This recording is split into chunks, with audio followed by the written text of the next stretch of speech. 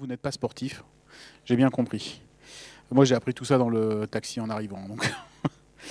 Euh, on va parler, alors c'est un talk euh, un peu ardu hein, parce qu'on parle de protocole réseau, de sécurité et ce genre de trucs. Euh, et il y aura même à un moment donné du code. Donc, voilà, pour, un dimanche après-midi, c'est un, petit peu, un petit peu rude. Qui est, alors je vais me présenter, mais qui, est, qui a déjà un petit peu de connaissances sur les sujets dont on va parler, c'est-à-dire Spiffy et Spire? Quelqu'un connaît? Alors ça tombe bien parce que c'est une intro. Donc on va parler donc de euh, sécurisation euh, de, déploiement en, environnement multi-cloud. Alors on verra que la démo ce sera pas exactement aussi ambitieux, mais on s'en fout en fait, c'est juste pour euh, à des fins didactiques. Alors normalement on fait ce talk à deux avec Laurent Grangeau, qui a fait une bonne partie des slides. il n'est pas là aujourd'hui parce que il est avec son fils. Et donc, alors voilà, moi je me présente, je suis Ludovic Pio, je travaille en tant que DevOps depuis. Euh, alors, je, travaille dans l'informatique depuis 98, je travaille en tant que DevOps depuis 2003, le terme a été inventé en 2007, ce qui fait que je suis un vieux DevOps. Et je travaille sur du cloud depuis 2010, euh, les premiers services sont parus à, peu près deux ans auparavant. Donc c'est pareil, je suis un petit peu euh, un vieux architecte cloud. Je vis sur un bateau depuis juillet, c'est toute une aventure. Euh, et puis, bah voilà, j'aime un certain nombre de choses. Euh, et je fais régulièrement des, talks. Et si vous voulez me joindre, bah, euh, jusqu'à, c'est la première fois, mais jusqu'à présent, c'était du Twitter. maintenant, c'est du Mastodon. Et c'est pas plus mal. Personnellement, je trouve que c'est plutôt mieux. Donc, vous n'hésitez pas à me, à me, discuter avec moi sur ce, sur ce. Comment on dit quand c'était un handle Twitter On dit comment sur Mastodon Les libristes? Non, mais la poète, c'est le message, mais le, le nickname, là, c'est quoi? L'adresse, quoi. Enfin, bref. Alors, de quoi il s'agit? En fait, euh, ce dont on parle, en fait, c'est une problématique qui n'est pas nouvelle. Elle date en gros du moment où on a commencé à avoir des architectures distribuées. On va voir un petit peu plus loin un slide sur l'historique du projet. Euh, mais globalement, en fait, ça s'est quand même considérablement renforcé ces dernières années pour deux, grandes raisons, en fait. C'est euh, bah, d'une part, effectivement, il y, a beaucoup, beaucoup de compagnies qui sont, qui sont passées online, euh, qui, ont, comment dire, qui sont sorties de leur conception réseau, qui était une, conception du réseau avec une sécurité périmétrique, c'est-à-dire quand on est dans l'entreprise, on a accès au réseau, quand on est hors de l'entreprise, on n'a pas accès au réseau. Enfin, quand je parle du réseau, je parle essentiellement des ressources de l'entreprise. Donc ça, c'est quelque chose qui est complètement révolu depuis trois ans maintenant. Euh, et, euh, et, il y a une, deuxième, deuxième, tendance de fond qui est bah, d'une part la, migration des entreprises sur le cloud public, enfin sur le cloud, oui, public essentiellement, et puis aussi euh, l'émergence de tout un tas de services qu'on appelle serverless, qui sont plus exactement des services managés dans le cloud, type base de données as a service, euh, WordPress as a service, etc., etc. Et donc en fait euh, une, constellation de services comme ça qui n'ont pas d'homogénéité infrastructurelle. C'est-à-dire qu'en fait votre WordPress as a service, vous n'avez aucune euh, garantie qu'il tourne chez le même provider, qu'il soit sur le même réseau, on va dire physique, que votre DB as a service, par exemple, qui peut être très bien chez un provider tiers, un fournisseur tiers, etc., etc. Donc en fait, on a de plus en plus de, flux d'informations, enfin, le SI de l'entreprise euh, est de plus en plus composé de services qui sont des services sur des infrastructures hétérogènes. Enfin, l'infrastructure globale, en fait, qui sert l'ensemble des services de l'entreprise, est une infrastructure complètement morcelée, avec des flux d'informations qui passent un peu dans tous les sens. Et donc, en fait, on, a complètement fait exploser ce modèle de sécurité périmétrique, ça marche plus du tout. Et donc la question qui se pose, c'est évidemment comment on, réacquiert de la sécurité dans ces échanges entre, services, euh, à la fois en termes de sécurité des flux et à la fois en, termes de sécurité des composants qui, euh, qui s'échangent ces flux. Alors on va se pencher sur un use case dont, on fera une petite démo, mais euh, enfin le cas le plus pour, pour donner un petit peu de corps à ce que je viens de raconter. Euh, un use case tout bête, c'est voilà, on euh, est euh, donc une entreprise, on a notre application de back-end sur notre réseau on-prem, quoi, sur nos serveurs physiques. Et, on a une base de données et en fait on a un, front, un client front, donc un serveur web, on s'en fout, qui est chez un cloud provider, donc par exemple Scaleway, mais ça peut être n'importe lequel. Hein. On s'en fout. La question, c'est comment on fait communiquer les deux. Alors, dans le monde, on va dire, euh, historique, c'est-à-dire ça, c'est un, schéma qu'on rencontre encore. le mainstream, on va dire il y a cinq. Euh, on va tirer les deux, euh, les deux sites, et puis on va avoir un réseau dédié. Alors déjà là en fait il y a un truc qui n'est pas complètement est pas complètement juste euh, qui est sur ce schéma, c'est que là, on se dit que le VPN, il fait communiquer deux, hum, serveurs, le client back-end et le client euh, front-end. En réalité, c'est pas si vrai que ça. En fait, la plupart du temps, quand on tire un VPN de ce type, on a plutôt euh, deux composants qui sont des composants réseau, d'accord Et c'est entre ces deux composants que, le, VPN est tiré. Et donc derrière, en fait, le fait que de l'information transite à travers ce VPN, ça garantit absolument pas que la source et que la cible sont isolés par rapport au, reste de l'écosystème. Donc typiquement, là on a un utilisateur, ok, il vient consommer le front-end, le front-end communique à travers le VPN avec le back-end, et le back-end communique avec la base de données, tout ça, ça se passe très bien. Ok, super. On a une étanchéité qui est assurée ici par cette boîte-là, donc avec de la sécurité périmétrique, ici par cette boîte-là, avec de la sécurité éventuellement périmétrique, ça dépend des providers et notre VPN. Donc en fait, on a deux bulles, un tuyau entre les deux bulles, et on a cette sécurité périmétrique. Sauf que ça, évidemment, ça présente certains inconvénients, qui est que quand on a un, black hat hacker qui vient et euh, qui arrive à, faire un exploit, par exemple, sur le client front-end, évidemment, derrière, en fait, il va passer crème euh, à la fois comme ça, mais à la fois comme ça aussi, et éventuellement, alors il y a une troisième, euh, il y a une troisième flèche que j'ai pas représentée, mais en fait, il pourrait très bien passer comme ça et aller directement sur la DB, éventuellement. Ça dépend des règles qui sont posées au niveau du routeur qui est, euh, qui est exposé à travers le VPN. Donc tout ça, ça veut dire que globalement, euh, cette euh, conception de la sécurité, a complètement volé en éclats et j'imagine que vous êtes à l'aise avec la notion de Zero Trust Network. Qui a déjà entendu parler de ça? Qui est à l'aise avec ça en fait? D'accord. Donc là, pour l'instant, j'enfonce des portes ouvertes. donc en fait, il y a une notion qui est apparue euh, grosso modo avec l'arrivée des microservices et l'arrivée de, plateformes de runtime dynamiques type Kubernetes, euh, qui est la, notion de Zero Trust Network, dans lequel, en fait, ce qu'on veut, c'est non plus établir une connexion euh, garantie en termes de sécurité entre deux infrastructures, mais plutôt une connexion garantie entre deux composants techniques, et non plus entre deux infrastructures complètes. Par ailleurs, il y a, euh, une dernière, un dernier sujet qui est de se dire, ok, mais euh, ça pour l'instant c'était un cas, simple, mais comme je vous l'ai dit, en fait, il y, a, des cas qui sont un peu plus compliqués, qui consistent à avoir des services, des microservices ou des, ou des microservices, on s'en fiche un peu, mais qui sont répartis un petit peu partout et ça communique joyeusement. Et donc en fait, ben, obtenir, obtenir de la sécurité là-dessus, ça, commence à devenir un peu complexe. Et c'est clair qu'on ne peut pas avoir une configuration, on va dire, statique euh, pour euh, identifier chacun des composants, et, etc., etc.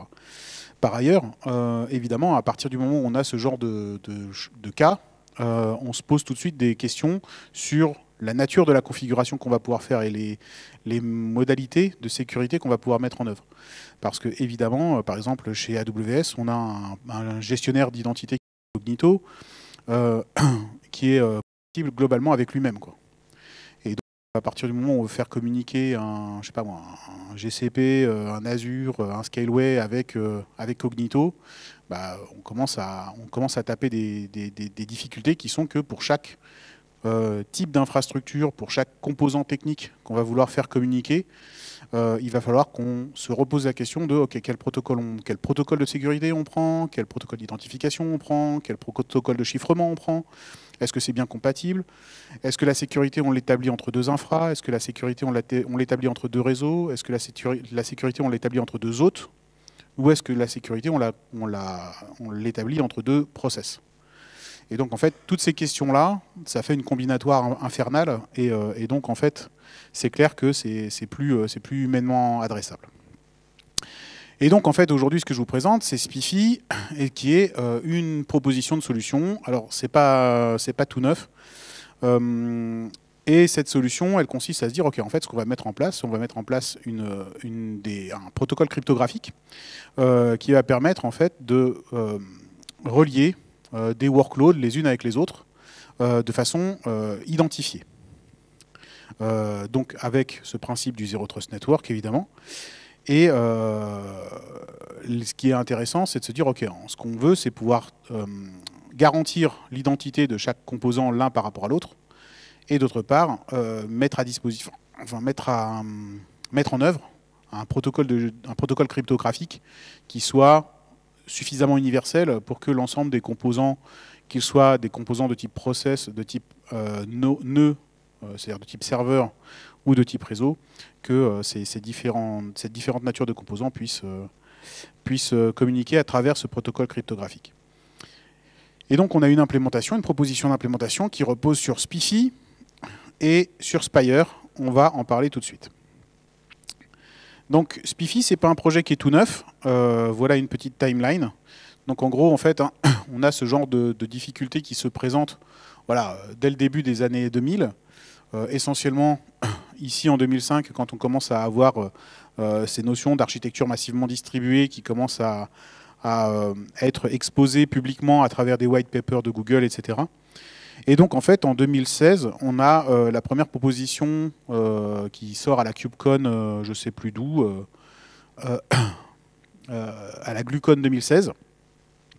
voilà, il y a une première proposition d'implémentation de SPIFI euh, qui, euh, qui va être suffisamment intéressante pour que l'année suivante, euh, on ait une première implémentation qui soit proposée et que ça rejoigne l'année suivante encore la, la, fondation du CNCF. Alors, si je vous explique un petit peu de quoi il s'agit, donc SPIFI, c'est donc c'est SPIFI plus Spire, c'est une toolchain. SPIFI, c'est la partie, c'est la partie framework, donc c'est la partie, on va dire, spécification. Euh, donc en fait, SPIFI, c'est une abstraction. Il n'y a pas d'outil SPIFI. D'accord? SPIFI, c'est vraiment l'abstraction que je vais vous décrire un petit peu plus loin. Et Spire, c'est son implémentation. Euh, c'est son implémentation en termes de runtime. Donc, globalement, ce que ça fait, c'est que ça permet de, euh, garantir l'identité des différents composants et d'offrir une couche de, communication cryptée entre, ces, entre ces composants. Voilà, voilà. Euh, alors évidemment, ça scale. On va voir un petit peu plus loin comment ça scale. Euh, et puis évidemment, c'est euh, compatible avec un monde, on va dire, alors là c'est marqué DevOps World.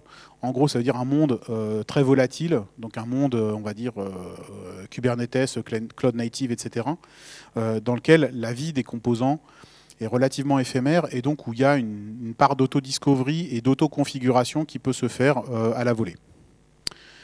Euh, voilà. Et donc, évidemment, euh, c'est compatible aussi avec des pipelines de CI/CD.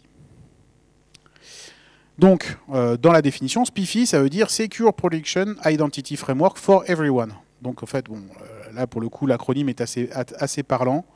donc, ce sont, des specs qui sont, prod ready. Donc, en fait, si vous utilisez du Envoy, par exemple, Envoy repose sur, sur SPIFI, plus exactement, Envoy repose sur Spire depuis deux ans maintenant. Euh, donc en fait voilà, c'est la, on va dire c'est l'outil production ready euh, qui est euh, qui a l'implémentation, enfin qui a la, l'interdépendance avec Spire la plus la plus évoluée. Mais c'est pas le seul, c'est pas le seul qui, qui l'utilise. et Spire donc c'est son implémentation en termes de runtime. Alors qu'est-ce que qu'est-ce que Spiffy n'est pas Enfin qu'est-ce que Spiffy plus Spire ne sont pas Alors ce sont pas ce sont pas des, des, outils de type Secret Store. Donc en fait ça ne vient pas concurrencer un outil comme HashiCorp Vault. C'est-à-dire que Spiffy euh, dans sa conception, enfin dans sa spécification, euh, ne sert pas à euh, stocker des secrets et à les chiffrer. Tout ce que fournit Spiffy, enfin à part sa clé sa clé privée, tout ce que fournit Spiffy, c'est public en fait. Donc il n'y a, pas d'obfuscation, il n'y a pas de, chiffrement euh, de, type de, type de secret, euh, de, type secret. Euh, Spiffy, c'est vraiment, vraiment lié, c'est vraiment orienté identité. ça vient directement en concurrence avec d'autres identity providers, mais qui souvent sont, sont de plus large échelle. Venez, entrez hein, si vous voulez. Ouais. Ça, ça, ça vient en concurrence avec d'autres identity providers du type, par exemple, euh, bah, euh, Kerberos. Euh, sauf que Kerberos n'est pas que un, un identity provider, il n'a pas que la gestion des principals, il a aussi la gestion des autorisations. Là, pour le coup, c'est là que c'est là que Spiffy se, débarque, c'est que en fait, lui ne gère absolument pas la notion d'autorisation. Donc la seule chose qu'il sait garantir, c'est que le composant A est bien A. Il envoie, il a bien émis un message, enfin un flux d'informations vers le composant B qui est bien B, et ce flux d'informations, on sait qu'il est resté intègre entre A et B. C'est la seule chose qu'il sait garantir. Et enfin, évidemment, excusez-moi, il ne vient pas en concurrence avec des services mesh qui ont des, fonctionnalités bien plus larges euh, du type euh, je, balance, mon flux, euh, je réplique mon flux, je fais partir mon flux en Y, enfin ce genre de choses. Donc en fait, le service mesh est d'un point de vue fonctionnel bien, plus, bien plus large.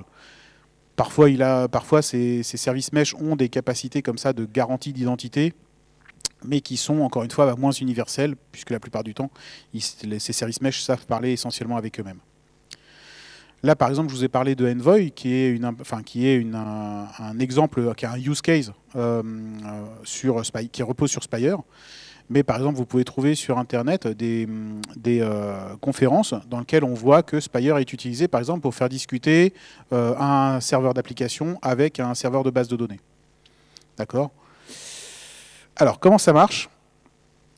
Euh, Comment ça marche? Donc, en fait, il y a le premier truc qui est le name it.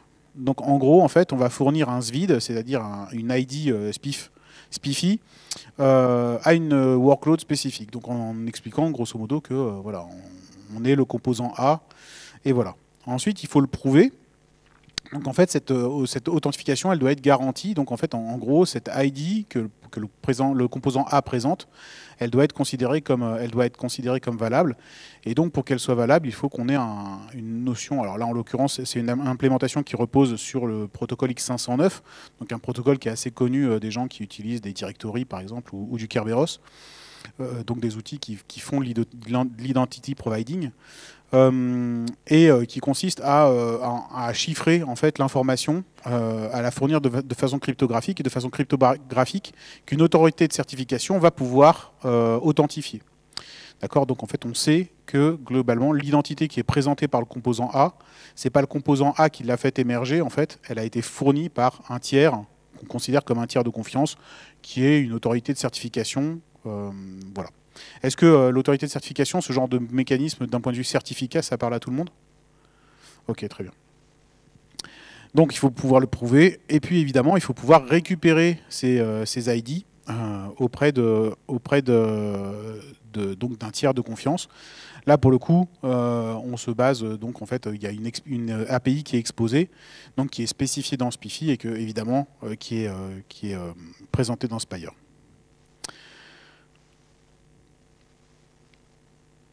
Alors, grosso modo, donc un SVID, donc euh, l'ID euh, euh, présentée par, euh, par Spiffy, elle se présente sous cette forme-là, donc qui est une forme qui est un sous-ensemble de la spécification X509.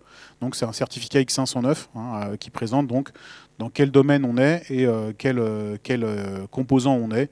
Donc sous, cette- sous cette forme, sous cette forme assez classique qu'on trouve de domaine, namespace, etc. Voilà, voilà. Donc ça c'est pour la partie SVID, c'est-à-dire qui on est, name it. Ok. Alors ensuite, la façon de, la façon de, le- récupérer, le gate it, voilà comment ça fonctionne. Donc en fait, en gros, une implémentation euh, Spiffy, ça repose sur un serveur qui va être le générateur, la, PKI finalement, qui va être le générateur de certificats, euh, et puis sur des agents qui vont venir, euh, qui vont venir interroger ce serveur pour obtenir un certificat qui garantit leur identité. Donc globalement, en fait, c'est un- une, architecture assez modulaire. Alors un- une chose qui est assez in- intéressante, je voilà. Ici, on a l'upstream CA, c'est-à-dire qu'en fait, bien entendu, euh, Spiffy n'est pas forcément son- sa propre autorité de certification. Quand on est dans un monde d'en- d'entreprise, euh, on peut très bien avoir une CA qui est externe. Et c'est particulièrement intéressant parce qu'il manque un truc ici.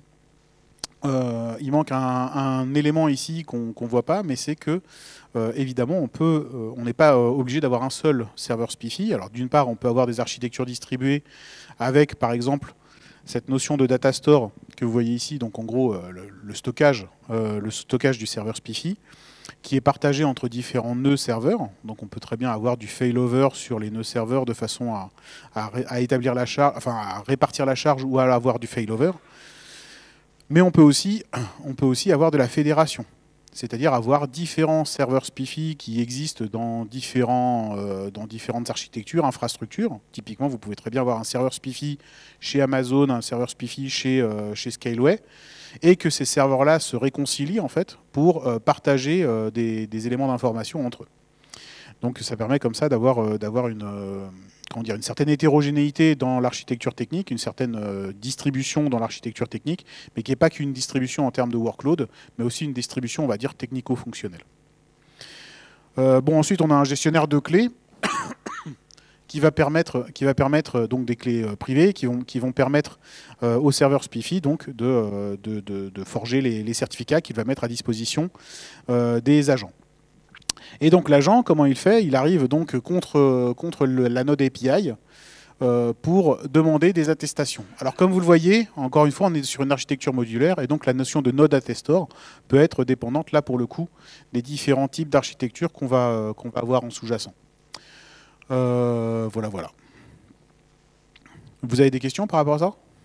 Ou c'est clair? Finalement, en fait, quand on découpe, chaque notion est assez simple, voire même simpliste. Euh, enfin, on est vraiment dans du KISS euh, à fond. Euh, évidemment, c'est la, composition de tout ça qui, qui, présente un intérêt. Côté agent, bah, c'est pas très compliqué. En fait, on a une workload et la workload, elle vient, elle vient interroger l'agent qui donc va faire des requêtes auprès du, du, serveur de façon à récupérer, de façon à récupérer les certificats encore une fois, avec, euh, avec des, une architecture modulaire qui permet par exemple d'avoir des certificats à un niveau node, par exemple pour Linux, et à, d'autres niveaux, typiquement Kubernetes. On va voir tout à l'heure dans la démo qu'on peut aussi le faire avec du Docker Compose ou ce genre de choses, ou du Envoy, etc. Voilà, voilà. C'est clair? Ok. Donc en fait, voilà pour la partie, on va dire, un peu théorique. Donc maintenant, je vais, vous, montrer un petit peu une démo parce que euh, la théorie c'est sympa, mais euh, en gros, euh, comment ça marche quoi. Et donc, je vais vous présenter un petit peu un cas de démo qu'on va, qu'on va regarder ensuite dans le détail juste après. Donc, on va, on va imaginer qu'on a donc cette architecture hétérogène. Alors, dans la démo, en fait, on sera sur, sur un seul serveur. Enfin, vous verrez, mais globalement, on va répliquer cette architecture hétérogène. Donc en fait, on a une architecture dans laquelle on a différents nœuds. On a un serveur web qui vient requêter un autre serveur web qu'on va appeler l'éco-serveur. Et l'éco-serveur, en fait, va nous restituer ce qu'il reçoit comme header HTTP. D'accord? Donc en gros, le web server, enfin nous, l'utilisateur, on interroge le web server. Et le web server, quand il reçoit cette requête, en fait, il vient lui-même requêter l'éco-serveur qui lui renvoie euh, dans sa réponse euh, l'ensemble de ces headers. Dans, son body de réponse, il, renvoie l'ensemble de ces headers. de façon à ce qu'on voit ce que l'éco-serveur reçoit. Alors, encore une fois, évidemment, excusez-moi, encore une fois, euh, dans un cas euh, hyper simple, bah là en fait on fait communiquer tout ça, on met un firewall devant et puis on s'arrête là, sécurité périmétrique, ça suffit. On vous avez compris qu'on n'est plus du tout dans ce, dans ce domaine-là. Donc le premier truc, c'est qu'on va mettre en place un serveur Spire, évidemment, euh, qui va nous permettre d'obtenir des identités, euh, des identités garanties. Pour obtenir ces identités garanties, évidemment, il faut qu'on pose des agents. Et évidemment, nos, euh, deux serveurs, on va dire fonctionnels, l'éco-serveur et le web-serveur, vont s'interfacer avec cet agent Spire de façon à récupérer l'information.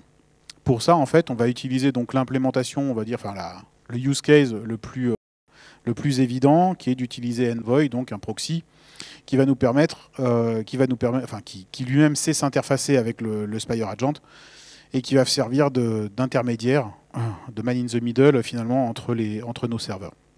Et donc on va avoir une communication qui va se faire entre nos deux serveurs Envoy. Et cette communication, elle va être sécurisée à travers de l'encryption en mutual TLS.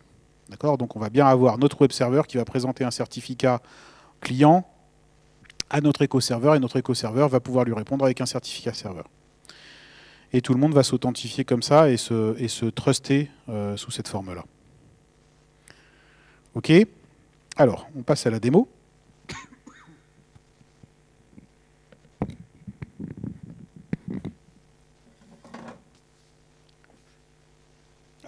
C'est le moment où je vous vois plus. Hein. Parce que soit je vois mon écran, soit je vous vois vous soit je vois la salle. Vous m'entendez bien toujours? C'est bon? Ok, super. Alors, pour la démo, je m'appuie donc sur, alors je ne sais pas si vous connaissez cet environnement de travail dans le cloud qui s'appelle Gitpod. C'est très pratique. Euh, donc, alors dans cette démo, donc, on va déjà commencer par regarder le début, c'est-à-dire les forces en présence. On a donc notre serveur web et notre serveur echo. On va regarder vite fait dans le Dockerfile. Donc, on voit que notre serveur web, il est constitué de quoi? Il est constitué donc euh, bah, d'une distribution Envoy. D'accord? Et dans cette distribution Envoy, on pose un certain nombre de choses complémentaires. On va poser l'agence Spire, qu'on récupère d'une autre image. D'accord? Et on va poser, on pose de la config évidemment, on pose euh, des certificats, on va regarder tout ça. Donc on pose de la config d'Envoy, on pose de la config de l'agence Spire, on pose un certificat et on pose notre, binaire de web server qu'on va aller regarder. Et ensuite, on démarre notre envoy. Clean. Côté echo, globalement, c'est la même chose, sauf que euh, notre binaire, euh, il s'appelle euh, echo server. D'accord? C'est un autre binaire. Regardons vite fait ce qu'ils font. Donc, notre echo server, comme je vous, comme je vous l'ai dit, pardon, excusez-moi, donc en fait, c'est des binaires Go. Hein. Notre echo server, qu'est-ce qu'il fait? C'est pas très compliqué. Euh, il nous renvoie ici une réponse qui est le contenu. Alors attendez. Voilà, il reçoit ici, donc dans notre handler, il a une, requête, il reçoit une réponse, et dans la réponse, ce qu'il envoie, c'est, voilà, il marshall sous forme de JSON, c'est header. Ici, là. Vous voyez? Donc voilà, globalement, il ne fait rien d'autre. On a un petit peu de gestion de log euh, euh, et, de gestion d'erreurs, mais globalement, il ne fait rien d'autre. Au niveau, du web server, pardon, ici, c'est un petit peu plus compliqué. Et globalement, ce qu'il faut retenir, bon, on s'en fout, on a une page web qui est directement euh, enfin, dans, le dur, dans le code. et globalement, en fait, il va émettre plusieurs types de requêtes. Et ce qu'il faut retenir essentiellement, c'est que ces requêtes, c'est ici que je vais vous le montrer. En fait, on voit qu'on a ici euh, trois types, de, requêtes qui sont émises. On a une première requête qui est émise directement vers l'éco-serveur sur le port 8081. Et ensuite, on a une requête qui est envoyée sur l'envoy sur le port 8002. Et on a une troisième requête qui est envoyée sur l'envoy sur le port 8001. OK?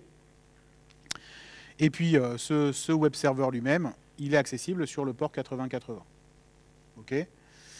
Et euh, globalement, la requête, alors je ne me souviens plus, mais je crois qu'on va directement sur route. Euh, je crois que c'est un get directement sur route. Voilà. Hein, on, a, une URL qui est directement sur route euh, et, donc on attend que le echo server nous restitue tout ça. OK? Tout le reste, c'est juste du sucre pour, pour mettre en forme notre, notre réponse. OK? Donc là, ça c'est pour nos forces en présence d'un point de vue binaire. Regardons maintenant ce qu'on a. Donc en fait, on va monter tout ça dans un Docker Compose. Donc en fait, on va simuler nos différentes infrastructures sous forme de, conteneurs Docker. Euh, c'est un peu limité, mais euh, en fait, c'est suffisant pour, pour se faire un petit test sans, se préoccuper de toute, la complexité qu'il peut y avoir à mettre en place ça dans du Kubernetes ou dans différents providers, etc., qui sont des complexités annexes qui ne nous intéressent pas là immédiatement. Donc en fait, d'un point de vue pédagogique, tout est, regroupé sous un Docker Compose. Le Docker Compose, qu'est-ce qu'il fait? Il va démarrer donc le Spire Server. Ok, super. Euh, il démarre l'Echo Server, il démarre le Web Server, il expose le Web Server sur 8080. Très simple. Ok, très bien. Si on regarde le README, on, on voit qu'on a une séquence qui consiste à builder les images. On a vu les Dockerfiles. Ah, je ne vous ai pas montré le, Dockerfile du, du, Spire Server, on va regarder ça. On monte la, stack Docker Compose, on fait un Docker Compose up. Donc on va se, retrouver avec, on va se retrouver avec nos trois services qui se connaissent à travers l'autodiscovery du Docker Compose et euh, qui exposent donc le web server sur le port 8080. Et ensuite, on lance trois scripts qui sont Start Services, Start Spire Agent et Create Registration Entries.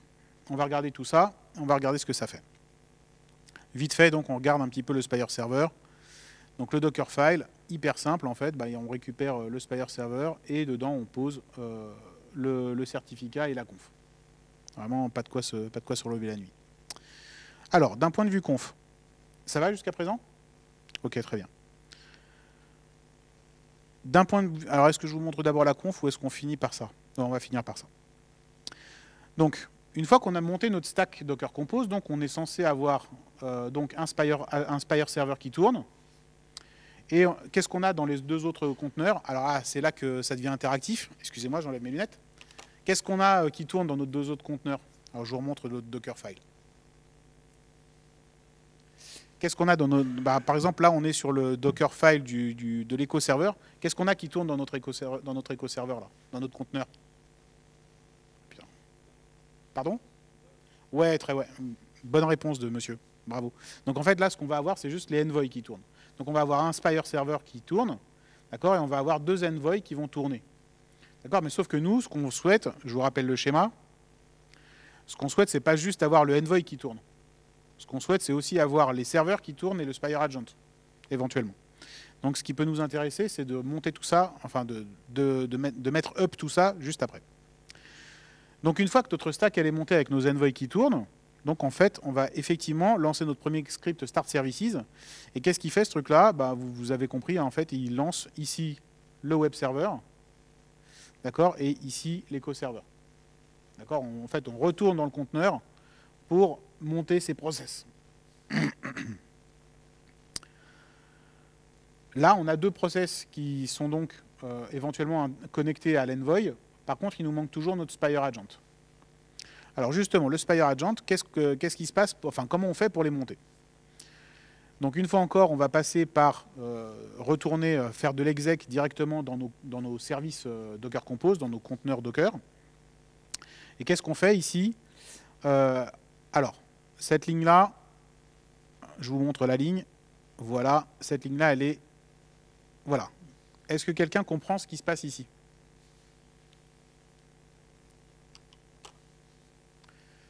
Donc là, on manipule deux, conteneurs. On manipule le Spire Server et le, euh, le Web Server. Est-ce que vous comprenez ce qui se passe? Pardon Ouais, exactement. En fait, alors il y a une, génération de certificats, c'est-à-dire en fait d'identité, qui est faite euh, au niveau du Spire Server pour euh, aller bootstrapper euh, l'agent Spire Agent.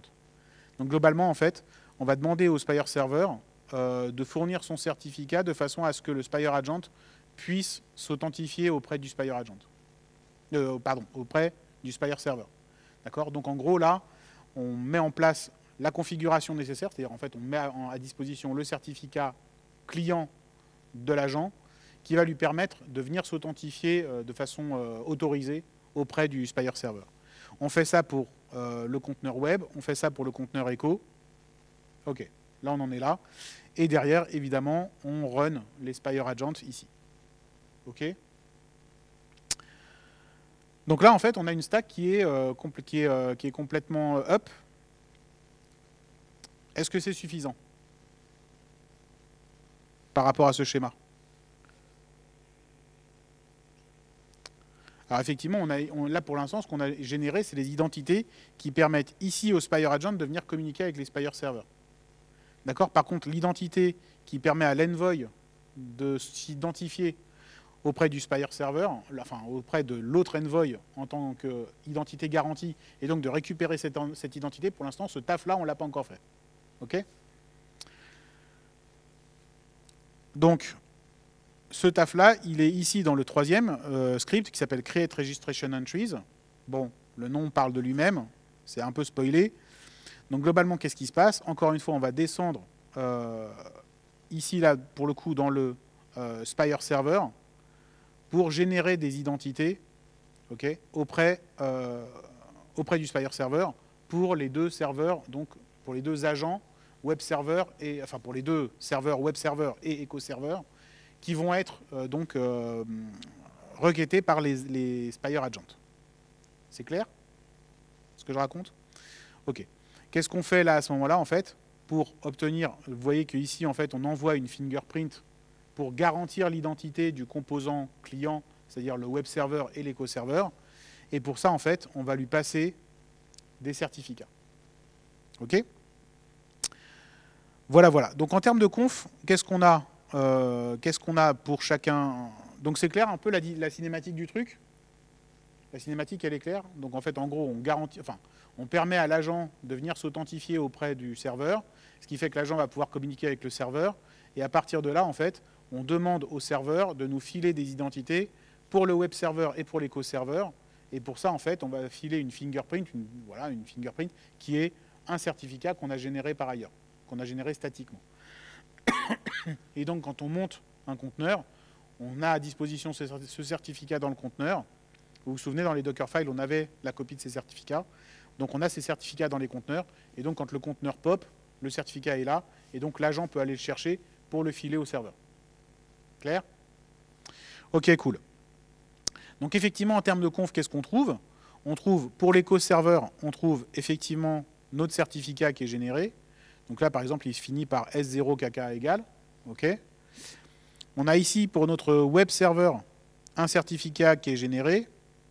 Vous voyez que ce n'est pas le même. OK Et puis au niveau de notre Spire Agent, on a notre, certificat qu'on va filer à l'agent. Et là, pour le coup, c'est un certificat générique qu'on file à nos deux agents, on s'en fout. OK que, que, les agents euh, soient tous identifiés de la même façon, on s'en fout. C'est notre, notre flotte d'agents. OK C'est clair tout ça? Très bien. On va regarder un petit peu ce qu'il y a en termes de configuration au niveau du Spire Server. Alors, c'est assez simple, vous allez voir. Donc globalement, on a un petit peu de, tuyauterie au niveau du socket pass, etc. On s'en fout un peu. On a euh, donc un répertoire dans lequel on a de la, data.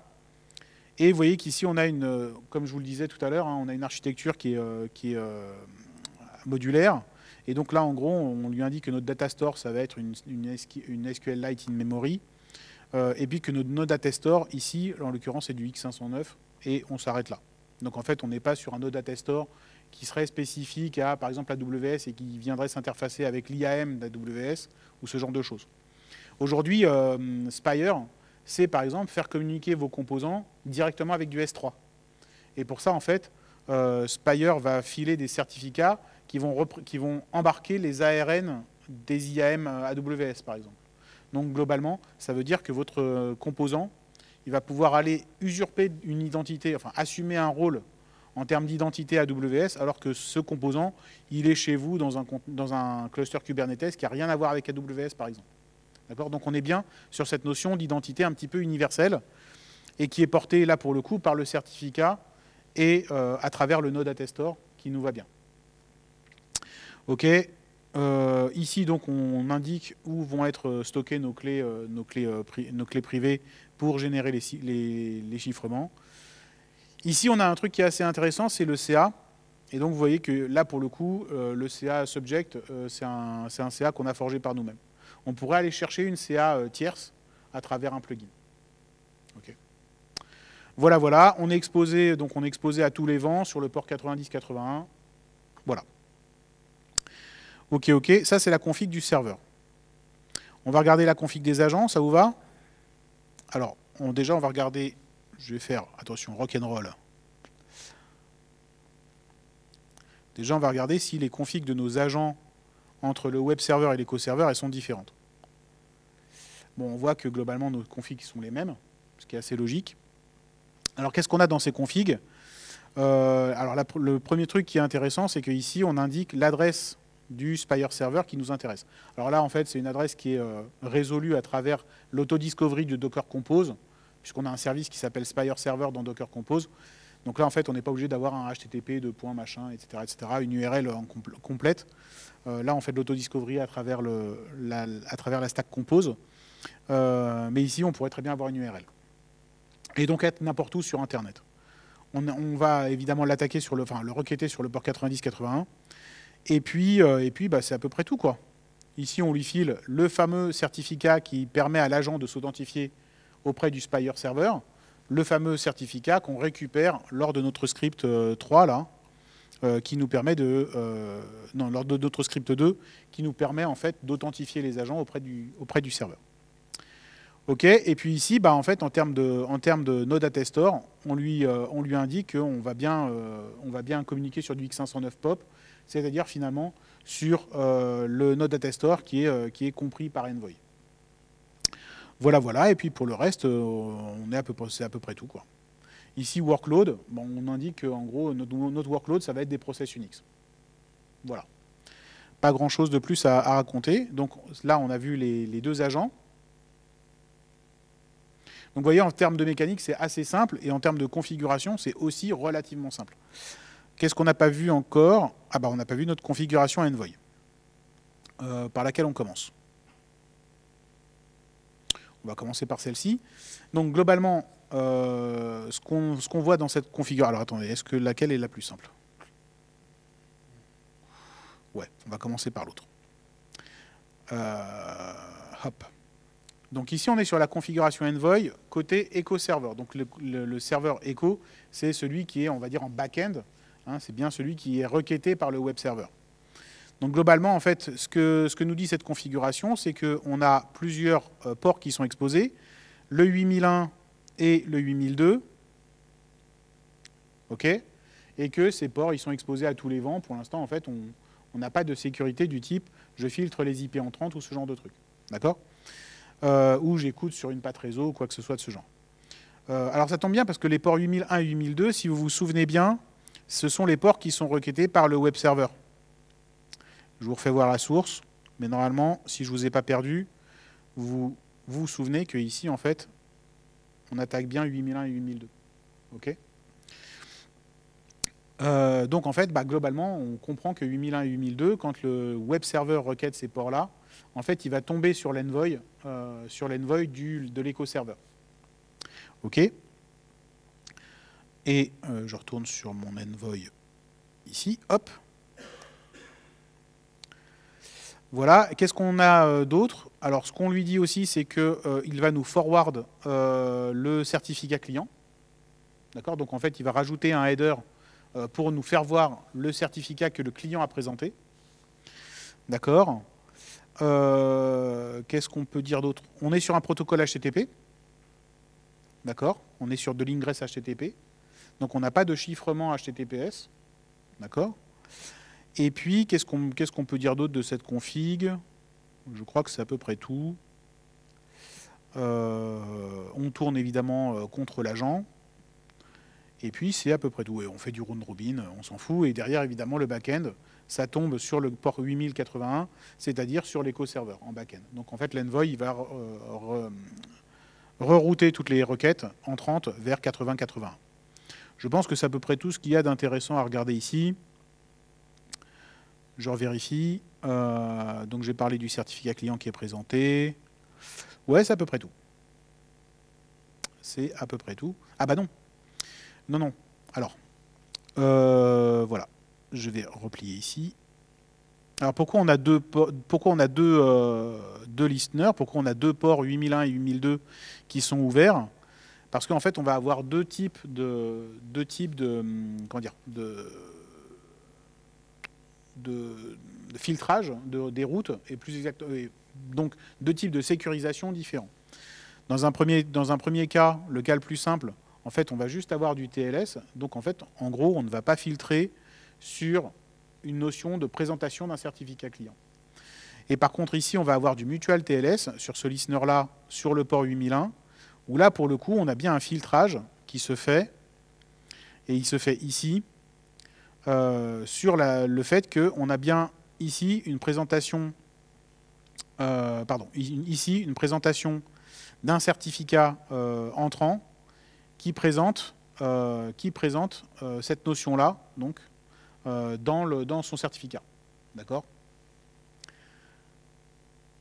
Donc en fait ici on a bien une validation du, certificat client qui va, être entrant sur le Envoy Et les requêtes qui arrivent sans, sans ce certificat, évidemment, seront purgées. Donc là, en fait, on a bien cette sécurisation en termes de mutual TLS euh, sur le fait que le Echo Server, quand il est requêté donc, à travers le Envoy sur le port 8001, si on ne lui file pas de certificat, il nous jette. OK? Voilà, voilà. Le Envoy, où j'en suis de- du temps Ouais, ça va. Euh, le Envoy, oui.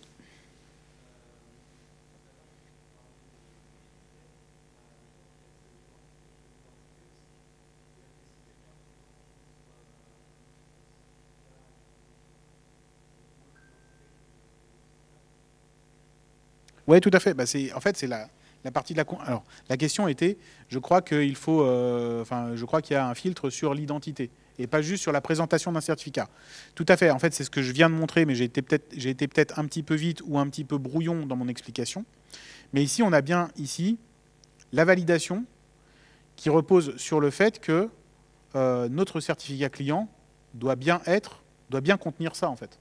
Donc ça veut dire qu'on a bien une identité qui est non seulement euh, on, vérifie la présence d'une identité, mais on vérifie bien la nature de l'identité, enfin plus exactement euh, la, validation de l'identité elle-même, qui est celle-ci. C'est-à-dire qu'en fait, on accepte euh, un certificat entrant, enfin une connexion entrante, qu'à partir du moment où le certificat expose ceci. D'accord? Donc on est bien sur une identité vérifiée. Ça veut dire qu'on n'accepte que les connexions du web server ou de tout composant qui présente ce certificat. Et là, en l'occurrence, ce certificat, justement comme il est fourni par le, Spire Agent, euh, pardon, par le Spire Server sur, de- sur demande du Spire Agent, euh, on récupère bien un certificat qui, garantit cette identité. Et tout ça se fait de façon dynamique. Ça se fait au moment où on lance ce, ce- ce script-là, qui est un script d'instanciation finalement de, de notre composant. Quand on, ici, là, dans ce fameux troisième script, d'accord, où on a euh, la, fin de la montée finalement de notre process euh, Spire Agent qui vient requêter euh, pour obtenir une, euh, authentification. Donc là, en fait, ce script, il a cette, séquence, elle a été découpée en trois scripts pour des raisons pédagogiques, en fait, pour vous expliquer le séquencement du truc. Mais évidemment, quand on pop un, pod, par exemple, ou un conteneur ou un process au sens large, ce qu'on souhaite, c'est que évidemment tout ça se- s'enchaîne de façon automatique, bien entendu. Là, ça a été découpé pour des raisons pédagogiques. Ça, répond à ta question? Enfin, ok, cool. Euh, on en a été regarder le- la config envoy du web server, là, pour le coup. Donc, là, pour le coup, il n'y a pas, pas grand-chose à en dire. Euh, on a essentiellement donc un envoy euh, émetteur, en fait, sortant, euh, qui euh, vient donc se brancher, enfin, qui euh, au- autorise donc des connexions euh, sortantes vers le port 8001 local.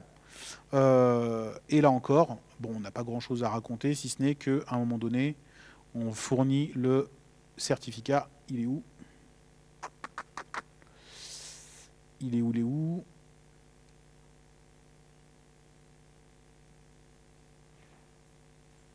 Euh, On est sur lequel? Mutual TLS, donc c'est bien là. Où est-ce qu'on fournit le certificat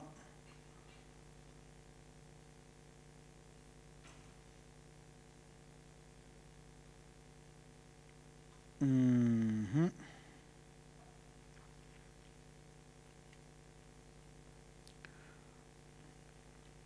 Le voilà. Ok. C'est ici. Donc ici, là, en fait, on a euh, un upstream, donc un- un- un- un- une connexion émise. D'accord Et là, en fait, on va utiliser donc euh, du, euh, TLS, d'accord, vers le port 8001. D'accord Et ici, on envoie bien notre certificat avec ce nom-là. OK Donc là, en fait, on- en gros, ce qu'on vient de configurer, c'est euh, de lui dire que quand on émet une connexion vers, le port, vers un port 8001, quand on émet une, une- connexion vers 8001, euh, on présente le certificat client. Globalement, c'est ça que ça dit. Euh, Quoi d'autre de représentatif? Alors évidemment, cette notion-là, on ne l'a pas quand on, est, euh, quand on part vers 8002. Donc quand on est dans euh, cette partie-là, là, je vais replier la partie d'avant. Hop, voilà. Donc quand on est, donc là on est encore sur le mutuel TLS, hop. Donc quand on est vers le TLS, évidemment, on a, alors on, a une vérification du certificat serveur qui rentre, d'accord. Mais par contre, on n'a pas d'émission du certificat web server. ok, du certificat client. Ok C'est clair ce que je raconte? Ok. Cool. Eh ben on va faire tourner tout ça. Alors, on va dans le bon répertoire. Ok, on va builder nos comptes. Alors, évidemment, je vous mens pas. On a zéro conteneur.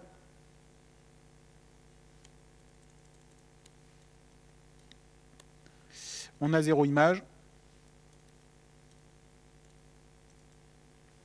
On n'a rien qui tourne. OK. Euh, pardon. Donc on va builder nos différentes images. Ah oui, je ne vous ai pas fait voir le script de build, je crois. Bon, le script de build, c'est Docker Compose Build. Hein. Donc on build nos images, ça va vite. OK. Et maintenant, évidemment, on a nos images. Super. Euh, alors je vous fais voir quand même, parce que je ne veux pas vous mentir. Alors, il est où notre build? Hop. Voilà. Foufou, hein. Ok. On fait tourner notre... Euh, donc, on lance notre stack. D'accord Donc, on a notre euh, Spire Server et nos envoys qui sont montés. Comme nos envoys sont montés et que donc dans notre conteneur euh, web server, on avait une exposition du port 8080, j'ai mon Gitpod, donc mon environnement de mon IDE, qui me dit bah j'ai un port 8080 qui vient de s'ouvrir. Donc on va l'ouvrir.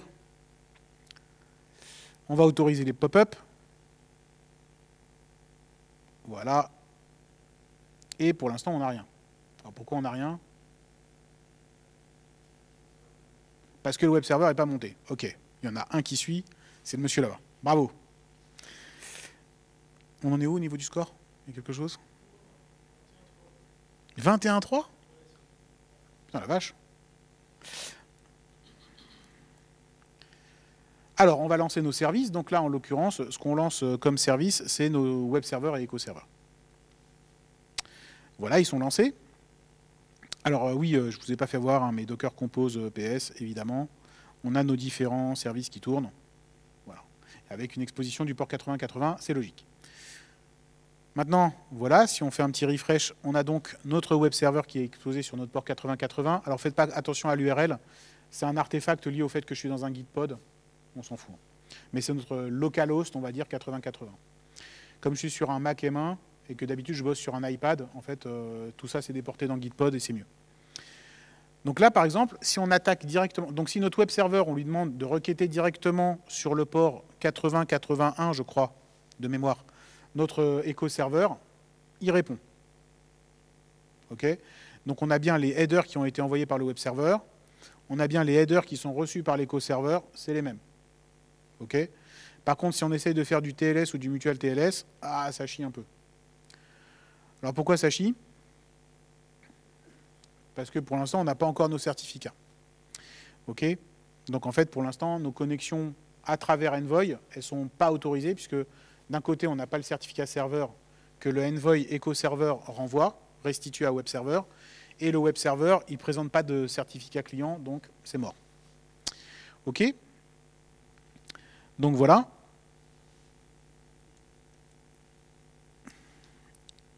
Euh, donc on va démarrer nos agences Spire. Voilà, donc hyper simple. On a démarré nos agences Spire. Donc là, ce qui s'est passé, hein, c'est quand même que on a filé, euh, enfin nos agences Spire ont filé donc leur certificat euh, plus exactement, on a demandé à travers le script au Spire Server de filer un certificat qui permettra à l'agent Spire de s'authentifier auprès de lui. D'accord? Donc là, en fait, on a cette partie-là de la boucle qui vient de se mettre en œuvre. Là, on a cette partie-là qui fonctionne. On a cette partie-là qui fonctionne. Cette partie-là, là, elle manque encore. Plus exactement, en fait, elle fonctionne, mais pour l'instant, il n'y a pas de certificat. Donc, en fait, euh, pour l'instant, il ne se passe rien. OK Donc là, globalement, si on réessaye, on va obtenir le même comportement. Hein. Voilà, c'est normal, puisque pour l'instant, on a de nos agents Spire qui sont présents. Mais par contre, ils n'ont pas encore requêté euh, leur identité auprès du Spire Server. Dernier point de la démo. On demande donc, enfin, on sollicite le Spire Server euh, à travers le Spire Agent. Donc on demande aux, Spire Agent de solliciter le Spire Server pour obtenir une authentification, une identité. Et voilà, donc en fait là, on a une restitution directement dans le script de ce que le Spire Server renvoie. Et donc là, en fait, on voit qu'effectivement, on récupère bien une euh, SVID, qui est web server, de la part d'une euh, SVID autorité de certification, on va dire, qui est donc euh, celle-ci. OK Et donc, on, indique bien que d'un point de vue Node Attestor, Node on est bien sur de l'Unix. Donc, on est bien sur notre, notre fameux X509 process Unix Envoy s'est utilisé. Voilà, voilà. Donc maintenant, d'un point de vue schéma, on a bien ici notre Spire Agent qui a récupéré une identité qu'il va savoir filer à l'Envoy de façon à ce que quand, alors dans ce sens-là, qu'il va, va filer à l'Envoy de façon à ce que quand le web server va vouloir aller requêter l'éco-serveur à travers l'Envoy, il va dans un premier temps passer sans présenter de certificat client pour aller sur le port 8002 attaquer l'éco-serveur en TLS et l'envoy va répondre avec un certificat serveur. et puis, dans le deuxième temps, avec le port 8001, euh, en mutual TLS, va présenter son propre certificat client pour que l'envoy ici accepte la connexion, passe ça à l'éco-serveur qui va restituer tout ça. C'est clair?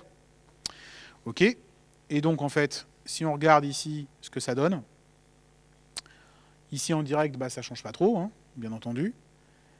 Ici en TLS, bah, on a effectivement des headers qui sont reçus. Alors notez quand même, on a des headers qui sont reçus, mais au niveau de l'éco-serveur, on n'a pas reçu de certificat client. Parce que là, en fait, on n'a pas, le, on pas le, le, forward euh, client certificate euh, en, tant, tant que header. D'accord? Donc on n'a pas de certificat client reçu par le éco-serveur. Par contre, la connexion se fait bien ça veut dire que d'un point de vue retour, le envoy ici, le envoy ici côté web server, il a bien reçu un certificat serveur et il y a bien une connexion TLS qui a réussi à se faire. Notez une chose intéressante, c'est qu'ici on reste en protocole HTTP. Donc en fait, ce qui est TLSisé, c'est la payload en fait. Hein. Pas, on n'est pas pas basculé en protocole HTTPS. On reste en protocole HTTP. Et euh, dernier, euh, dernier moment de la, démo, Mutual TLS. Donc là, en fait, il y a bien une, une présentation d'un certificat client, qui est celui-là. Et on voit bien que le certificat client présente bien une identité, l'URI, qui est bien l'identité du web server, c'est-à-dire du client qu'on autorise. OK Voilà. Et donc, à partir de là, on a, euh, et donc c'est à destination évidemment de l'éco-serveur, donc on a bien ici un flux dont on sait que l'expéditeur et le destinataire sont bien garantis, et tout ça en fait est filtré, enfin ouais, filtré euh, positivement par euh, l'envoy de l'éco-serveur. c'est bien pour ça que l'éco-serveur a reçu la, la, requête et a permis de restituer au web serveur qui l'expose. ok? Voilà, voilà ce qu'on sait faire avec, euh, euh, Spiff. Alors là, on, est sur un cas très très simple qui vous explique la cinématique d'autodiscovery, etc. et d'auto-registration. Euh, Le truc qui est intéressant, c'est qu'à partir du moment où on a ces premiers certificats qui ont été posés, la rotation de certificats se fait toute seule. Et d'ailleurs, alors je ne sais pas si je vous l'ai montré tout à l'heure. yes, une minute. Euh, on a un TTL quelque part qui se balade dans la config, euh, qui se balade dans la config, certainement au niveau de la config euh, des agents. voilà. Ici, on doit avoir un TTL qui se balade. Alors non, c'est pas au niveau des agents, c'est au niveau des serveurs. Voilà, on a un TTL de 1 heure. Donc en fait, dans une heure, si on fait les requêtes, il y aura une rotation de certificats, donc on n'est plus sur les mêmes certificats, et donc en fait on n'a pas de problème de révocation de certificats ou de fuite de certificats ou de fuite de clés, etc. Tout ça, en fait, c'est derrière nous. Truc intéressant, c'est que là, en fait, je vous ai montré euh, le cas hyper simple où on a euh, deux envoys qui communiquent, bien entendu. Mais par contre, euh, encore une fois, comme je vous le disais, on est, est, est dans un domaine où on est dans de l'identification universelle, où on peut aller requêter des plateformes de cloud, des services de cloud, différents, types de, différents types de composants. Donc typiquement, en fait, on peut aller requêter du Postgre, par exemple, s'authentifier auprès d'un Postgre à travers ce type d'identification X509. D'accord? Euh, C'est aussi le genre, d'identification euh, qui est faite sur des architectures massivement distribuées, type des clusters Hadoop ou ce genre de trucs. Donc voilà, on, là, on, commence à taper une capacité de s'identifier de façon un peu universelle. Voilà ce que je voulais vous montrer euh, comme entrée en matière sur Spiffy et Spire, qui sont des, outils qui, montent, en, popularité euh, dans le monde du cloud native CNCF. Est-ce que vous avez des questions?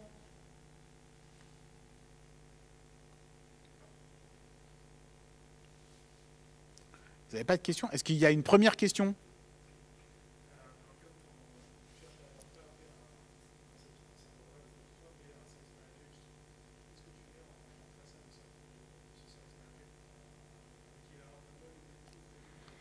Alors ça, alors ça dépend du service manager. Typiquement quand tu... Alors, alors si c'est... Ouais, alors la question c'est euh, comment ça se passe? Ouais, merci beaucoup pour le reminder et le, petit geste. Euh, voilà.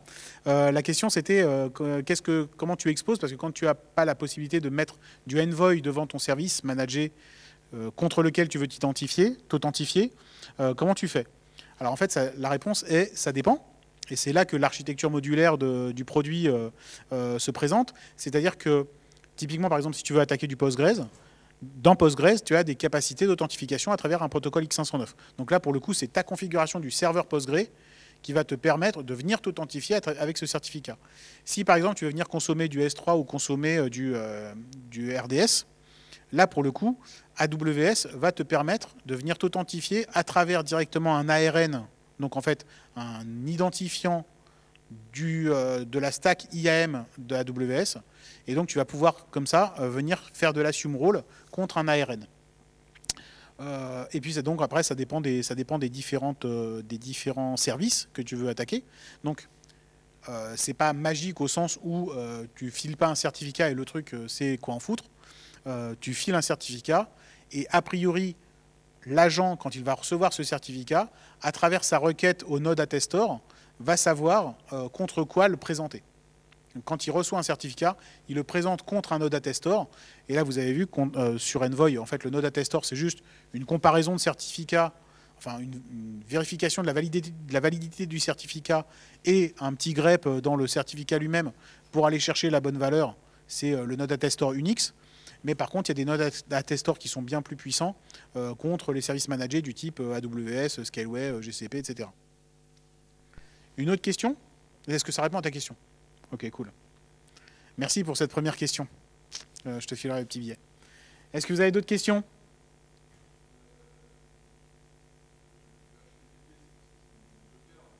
Ouais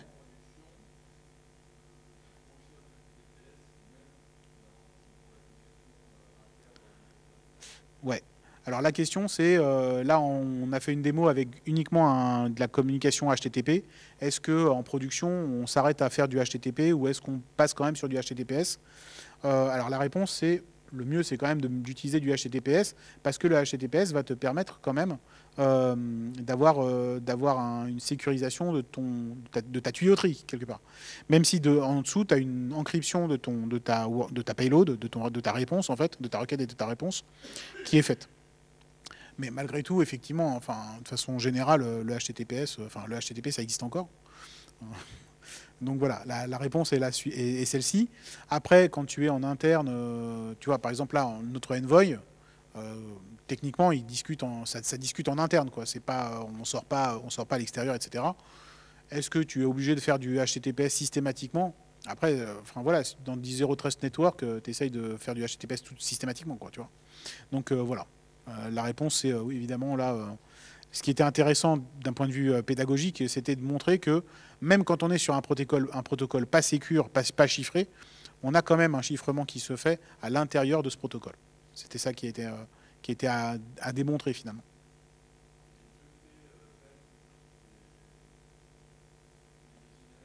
Ouais, elles sont générées, elles sont générées en préalable. Donc quand tu forges ton composant, tu, génères une PEM qui va te permettre, enfin là en, l'occurrence qui sert de fingerprint. Mais après le fingerprint, tu files ce que tu veux. Tu pourrais très bien filer une chaîne de texte. En fait, tu t'en fous. Euh, là pour le coup, on essaie de faire le truc un petit peu à l'épure, euh, enfin je veux dire un peu euh, état de l'art, où la, fingerprint qu'on présente, c'est déjà un certificat. Mais en vrai, on s'en fout. On pourrait très bien avoir un pauvre H, on s'en fout. La rotation de clé, ouais.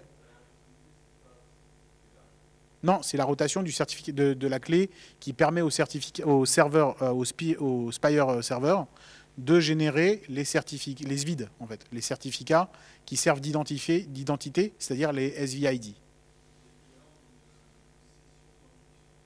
Ouais, ouais, tout à fait, ouais. C'est l'équivalent d'une session d'encryption. Je suis désolé, hein, j'ai vraiment pas le réflexe. Donc oui, effectivement, donc la, rotation de clé, c'est la rotation de clé qui se fait au niveau du Spire Agent, euh, du, pardon, du Spire Server, et qui va permettre au Spire Server de régénérer des SVID euh, avec cette nouvelle euh, clé privée, de façon à éviter tout problème de leak de la clé privée côté serveur. C'était ça la question-réponse. Alors, est-ce qu'il y a aussi une rotation au niveau des agents? Alors, au niveau des agents, il n'y a pas stricto sensu de certificat. il n'y a pas stricto sensu de certificat ou de clé privée forgée par les agents. le truc qui est présenté par les agents, c'est la fingerprint qui va leur permettre ensuite. Euh, alors, au niveau de l'agent, en fait, il y a deux choses qui transitent, on va dire, dont l'agent est le garant, et dont l'agent le stockage. Euh, c'est les vides des composants, donc type web server, eco server, etc. Et là, en fait, la fingerprint, elle est présentée, et ça peut être un peu, un peu ce qu'on veut. Donc, que ce soit un certificat ou que ce soit une. Enfin, il n'y a, rien de. Euh, a rien de secret là-dedans, en fait. Il n'y a pas de secret spécifique là-dedans. Euh, par contre, la, partie, on va dire, qui est plus touchy, qui est plus asécurisée, c'est le fait que le, node, le Spire Agent puisse aller communiquer avec le Spire Server. Et là, pour le coup, à partir, de, la, première émission, en fait, ce qui est présenté pour l'établissement de la première communication et donc du de, l'identité du Spire Agent, c'est euh,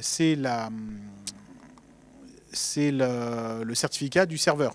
Et donc en fait, là pour le coup, ton Spire Agent, il va récupérer un SVID de la part du Spire Server et donc, une fois que ce bootstrap est fait, donc en fait, là, pour le coup, tu lui fournis un certificat de bootstrap. Et ensuite, il y a une rotation qui se fait, mais qui est initiée par le Spire Server. Ouais, donc on me dit que le temps est écoulé. Merci beaucoup d'être venu. Merci aux organes de m'avoir euh, reçu.